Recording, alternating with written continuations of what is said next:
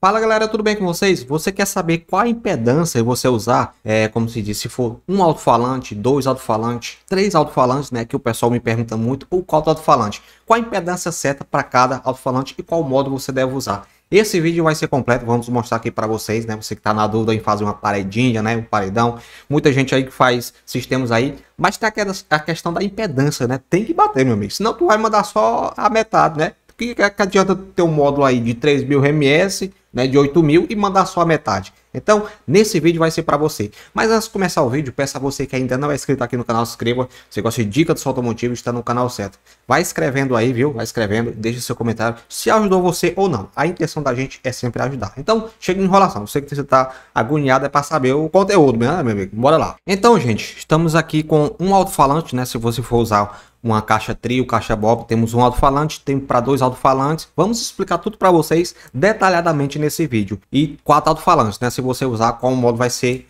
é, legal sobre a impedância, né? Vamos lá para o primeiro alto-falante, se você for usar uma caixa Bob. Então, gente, para um alto-falante, geralmente os alto-falantes aí são de 4 ohms, né? O pessoal tem misanga eu ver 4 ohms, né? Meu amigo, o importante é o conteúdo. Larga de ser besta no nome ohms, ohms. Eu sou professor nada, meu amigo. Pra ficar agoniado que eu falo ohms, né? Homem, eu vou falar agora homem. 4 ohms. Homo multiação. O importante é o conteúdo, os caras ficam enchendo o saco. Ah, diabo. É, então, gente, o que é que acontece? geralmente os alto-falantes for de é, 4 ohms, né? E para você usar um exemplo, um, esse módulo, esse alto-falante aqui é 1900 RMS, um Vulcano aqui. Dizem que não aguenta nem isso tudo, né? Você aplicar 1400 RMS, ele toca legal. Mas vamos fazer de, fazer de conta que esse alto-falante aqui é 1900 RMS. Então, gente, a impedância dele é 4 ohms. Para casar certo com o alto-falante, o seu módulo tem que ser de 4 ohms. Aconselho você usar um módulo de 3000. Entendeu, gente? O modo 3000 pode ser da Taramps, da Stetson, né? Fica bem legal. No caso, vai mandar, eh, por exemplo, um da Taramps mesmo, um da Stetson, né? O MD3000, né? O MD3000 ele vai mandar aí 3.500 ms, tá entendendo? Com a fonte ligada, né? 14.4. Então manda um pouquinho mais. Se você usar é, 12.6, né, que é a tolerância ali, vai ficar 3.000 ms. Então fica bem legal, né, você usar esse módulo aqui. Resumindo, para um alto-falante a impedância vai ser 4 a 4, né, 4 do módulo. Aí você me diz, olha, eu tenho um módulo, gente, de 2 ohms, né? Eu tenho um módulo de 2 ohms. Então só vai mandar 60%, mais ou menos ali, um pouco mais da potência. Se ele for 3.000 ms, ele vai mandar é, 1.600, mais ou menos. Essa conta aí vai mandar mais ou menos 60% se o seu módulo for de 2 ohms. E se seu grave for de 2 ohms, então você tem que ter um módulo de 2 ohms, né? Mas geralmente o pessoal tá fazendo agora, é, dependendo, né?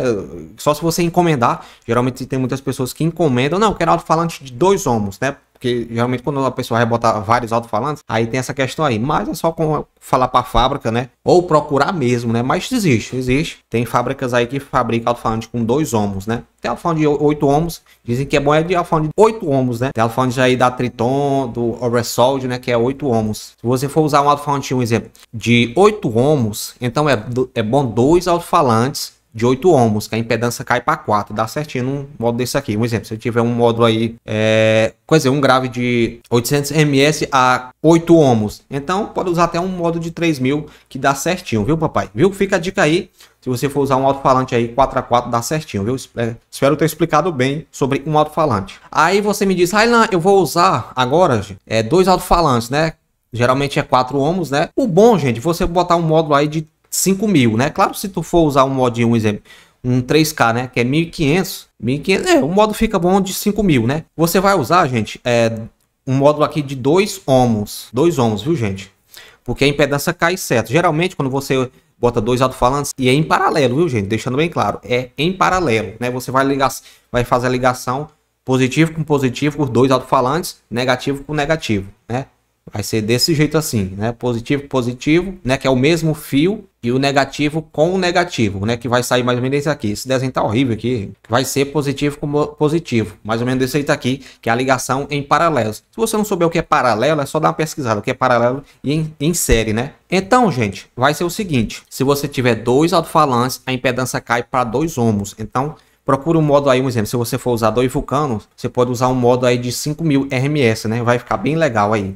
Só resumindo, uma coisa bem interessante, se você não tiver alimentação, isso aqui não vai mandar 5000 RMS não, viu gente? Um exemplo, um modo de 5000, ele modo de 5 mil, você pega 5 mil, 5 mil, divide, divide por 20, que, vai, que você tem que ter é, 250 amperes de bateria, viu gente? Ou se você tiver fonte. Então, se você, não, eu só tenho uma fonte de 150, Tu pensa que vai mandar esses 5 mil? Não manda 5 mil, viu, gente? É um vídeo bem completo aqui, resumindo tudo para vocês. Você que tá chegando no solto motivo, esse vídeo é para você, viu? Só lembrando isso, né? Se tiver dois alto-falantes de 4 ohms, a impedância cai para 2 ohms, você tem que fazer a ligação em paralelo, né? Que é positivo com positivo, né? Dos dois alto-falantes, negativo com negativo, o jeito que eu mostrei para vocês. Viu, gente?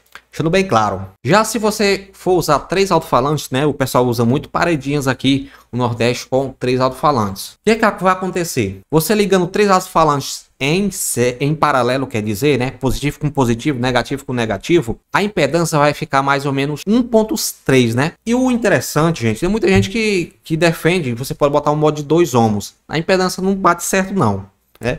Você tem que botar, pelo menos com a questão da impedância bater certo, um módulo com um ohms, né? Um ohms, viu, gente? Porque a impedância é 4, 4 e 4, né? Então, esse módulo tem que ser de um ohms. Tem muita gente que defende, ah, eu posso usar é, dois, com dois ohms não dá certo. Não sei, cara, eu não sei se, se isso acontece. Mas a questão da impedância mesmo, bater certo, você tem que fazer isso aqui, botar um módulo de um ohms para dar certo, né? Dá mais certo na questão de, de três alfalantes, viu, gente? Deixando bem claro aqui, viu?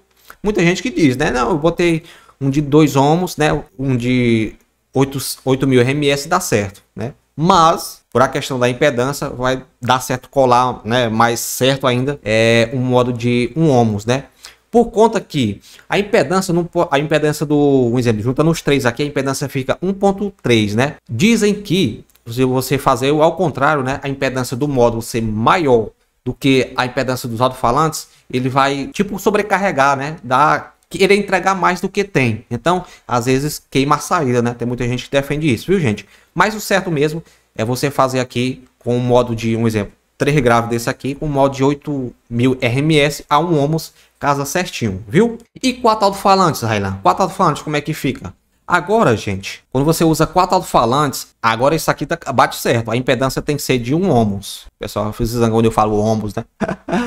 ai, ai. A impedância tá aparecendo um 7 aqui, né? A impedância de para 4 alto-falantes tem que ser de 1 ohms, né? Você usando 8000 que dá certo, né?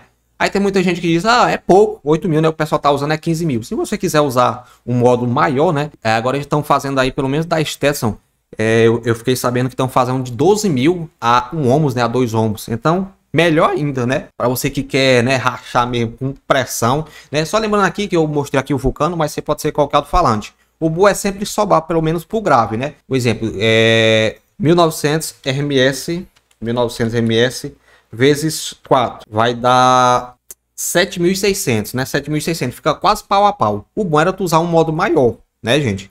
A verdade é essa, né? Porque conta que quando pedir o grave mesmo estendido, pum, você tem um, uma potência sobrando a mais, né? Então, é para um 4 alto desse aqui, aconselho um 12 mil ou 15 mil, né? Aí de um Omos casa certinho, papai, viu, gente? Esse é um vídeo aqui mostrando para vocês aqui a questão da, da potência dos modos, né? Sobre a impedância, que tem que bater a impedância, né? Tem muita gente, ah, eu vou comprar um modo e não, não entende sobre impedância, às vezes se lasca, né? Nesse momento eu tô conversando com um amigo meu aqui, ele comprou um modo dividido é, 900 ms, é quatro canais para botar um grave, só que não deu certo. Aí disse que sai muito fraco. Então eu mostrei para ele na prática que é, tem que sempre respeitar a impedância do, do modo, né, pro alto-falante. Então, gente, espero ter ajudado vocês. Se você não entender alguma coisa, é só voltar ao vídeo, né, que eu expliquei bem, bem coisadinho para vocês, né. E só resumindo, essa potência do modo, como eu mostrei para vocês ali na metade do vídeo, não adianta você ter um modo bem grande para não ter alimentação, tá entendendo, gente? Você tem que ter alimentação para mandar essa potência toda, né? Por isso que o pessoal tá usando muito high volts agora, né? É 220, né? É potência do modo. Até o fio fica mais. É uma, uma, matemática da bexiga, né? Eu sei que é muito melhor, né? Tem a questão do choque, né? É mais complicado um pouco, mas a questão de potência é às vezes sai bem melhor você usar muitos alto-falantes aí, high volts, sistema high volts. Eu tá pesquisando sobre high volts, eu não entendo muito, não vou mentir para vocês. Estamos aqui falando da questão de 12 volts, né, o sistema normalzinho mesmo de carro, viu? Que Deus abençoe a todos, espero ter ajudado. Se ajudou você esse vídeo, deixe seu comentário e até o próximo vídeo, hein?